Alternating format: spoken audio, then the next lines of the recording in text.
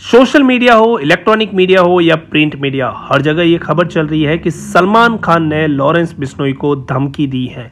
जी हाँ आप देखोगे, हर बड़े से बड़े न्यूज़ चैनल ने इस न्यूज़ को कवर करा है और कहा है कि सलमान खान ने लॉरेंस बिश्नोई को धमकी दी है। यहाँ पर आप बड़े से बड़े न्यूज़ चैनल जो कि यूट्यूब पर अवेलेबल है, उनके थंबनेल देखकर आप अंदाज़ा लगा सकते हैं कि इस खबर को कितना वायरल किया गया है जानबूझ के इससे कि वो अपनी चीज़ें निकाल सके। लेकिन सच क्या है? क्या ये खबर सच है? क्या सलमान खान ने वाकई में कोई धमकी दी है? क्या सलमान खान ने लॉरेंस बिश्नोई को कोई धमकी दी है या नहीं? इस खबर से पहले मैं आपको वो वीडियो दिखाता हूँ जिसको तथ्य मानकर ये न्यूज़ चलाई जा रही है। बड़े ताकतवर बाप बड़े बहादुर बाप कितने बहादुर, इतने ताकतवर बाप कि आप अपने परिवार वालों को कांधा दोगे? इस वीडियो को तथ्य बनाकर ये कहा जा रहा है कि ये शब्द सलमान खान ने लॉरेंस बिश्नोई के लिए यूज़ किए लेकिन अगर सच कहा जाए तो ये शब्द सलमान खान ने लॉरेंस बिश्नोई के लिए नहीं, बल्कि कोविड में अवेयरनेस के लिए किए थे।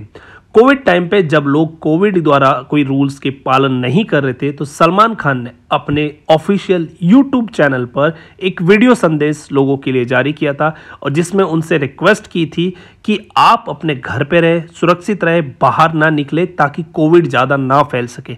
आपकी वजह से अगर कोविड फैलता है तो क्या आप अपने परिवार वालों को कंधा दे पाओगे? क्या आप इतने ताकतवर हो कि आप बाहर जा रहे हो, कोविड फैला रहे हो, और अपने परिवार वालों की मौत आप अपनी आँखों के सामने देख सकते हो? लेकिन इस वीडियो को यहाँ गलत तरीके से पेश किया गया और लोगों को ये भ्रमित किया गया कि ये शब्द सलमान खान ने लॉरेंस बिश्नोई के लिए यूज़ किए। अब आप कहेंगे कि इसका तथ्य क्या है कि ये वीडियो सलमान खान ने लॉरेंस बिश्नोई के लिए नहीं, बल्कि कोविड टाइम पे बनाया था। तो उसका तथ्य है, सलमान खान का अपना ऑफिशियल यूट्यूब चैनल। यहाँ पर आप उसी चैनल का स्क्रीनशॉट देख सकते हो, जिसमें सलमान खान का ये यूट्यूब चैनल है, जिस पर लगभग बत्तीस लाख फॉलोअर्स है। सलमान खान ने ये वीडियो बाईस मई दो 2020 को डाला था। लेकिन फिर ये वीडियो अचानक से सर्कुलेट कैसे हुए, उसके पीछे रीजन है सलमान खान की पीआर टीम सलमान खान आजकल सुर्खियों में है और कारण है लॉरेंस बिश्नोई की धमकी। सलमान खान एक बहुत बड़े ब्रांड एम्बेसडर है और इंडिया की लीडिंग जो ब्रांड एडवर्टाइजमेंट है, उनको ये एंडोर्स करते हैं।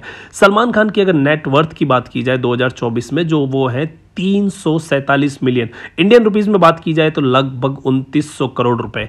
इतनी बड़ी नेटवर्थ के साथ सलमान खान की बहुत सी फ़िल्म अभी आने वाली है। उसी के साथ साथ सलमान खान ओ बिग बॉस और बिग बॉस को होस्ट करते हैं। हाल ही में बाबा सिद्दीकी की जब मौत हुई थी, जिसमें यह कहा गया है कि बाबा सिद्दीकी की मौत इसलिए हुई कि वो सलमान खान के करीबी बताए जा रहे थे उसके बाद सलमान खान से लोग दूरी ना बनाए, सलमान खान को लोग मूवी से ना निकाले, सलमान खान के साथ लोग काम करने से ना डरे इसी चीज़ को लेकर ये न्यूज़ फैलाई जा रही सलमान खान को इस धमकी का इतना असर हुआ है कि उन्होंने दो करोड़ रुपए की अपनी बुलेट प्रूफ कार उन्होंने जर्मनी से मंगाई। उसी के साथ साथ सलमान खान ने अपनी सिक्योरिटी बढ़ा दी है। सलमान खान की अभी थ्री लेयर सिक्योरिटी है। उसी के साथ साथ Salman Khan Y plus security में चलते हैं।